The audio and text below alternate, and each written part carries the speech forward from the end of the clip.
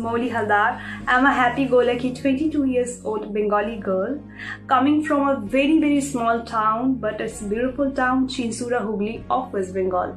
I'm a model by profession and a teacher by passion. So I teach some slum kids in our nearby society. As a kid, I suffered with uh, mental health issues and some experiences in my life that made me so much passionate about it.